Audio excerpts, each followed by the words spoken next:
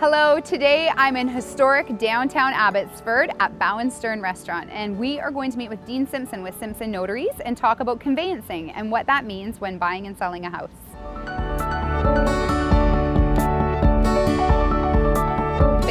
For meeting with me today at Bow and Stern in Abbotsford to discuss conveyancing. I know you are a notary with Simpson Notaries, so I guess how I wanted to start is asking what is a notary and what do you do in terms of buying and selling? Some people think they can do it themselves and say, well, I'll just pay. I, I know the person I'm buying the house from, I'll just pay them for it and then they'll transfer it over to me.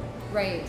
And that doesn't work because you want to pay them and then what? Wait for the title? Or someone's going to give you the ownership of the house and then trust you to pay them? So we're the person in the middle yeah. that collects all the money, holds it in trust, guarantees the land can be transferred into the name of the buyer. Yeah. Then register at the land registry on completion date. Yeah. That process is about an hour. Okay. So I'm holding all the money. I have all the paperwork in place to switch the ownership. We then transfer the ownership. One hour later, I search title again to guarantee it's gone through the way it's supposed to, because it's possible for a seller to have remortgaged it in between, to have sold it to two people in one day. So we check that guarantee. Yeah. So that's what we have lots of insurance to make sure that's not going to happen. Yeah. And so one hour later, when I search title again and I see it's still clean, I can rely on that. The, the land title office is government assured. Okay. So if there is a fraud involved and someone did manage to slip something through, no one's going to, the seller or the buyer is not going to lose out.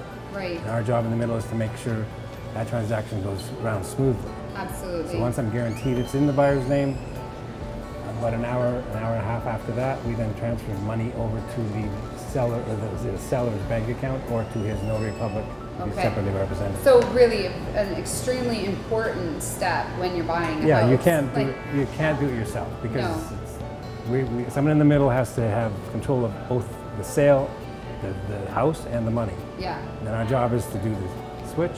Yeah. We'll guarantee that's through then people get paid. Okay, awesome. And what kind of costs are associated for a, a buyer or a seller in, in this? To, to buy a house with a mortgage, you're probably looking at a little over thousand dollars with cost, maybe twelve hundred. Okay, so really, in percentage-wise, quite a small percentage to ensure that you actually are getting the house yeah, that you're paying. percentage-wise, is very small. Yeah. And and as houses go up in value, if we're doing two two million dollar, three million dollar houses, the fees will rise slightly. Okay. But it's the fees are generally under $2,000 to do a conveyance. Okay.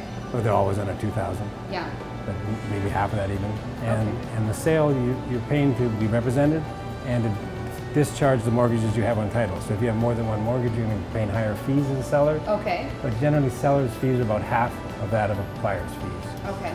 The buyer is responsible to pay for the notary cost of preparing all documentation and searching the title. Yes. The seller is just paid to be represented and to clear the mortgages off. Okay, perfect. Ah, that clears it up. Does that make sure. sense? Yeah, that's absolutely perfect. Yeah. yeah. Thank yeah. you.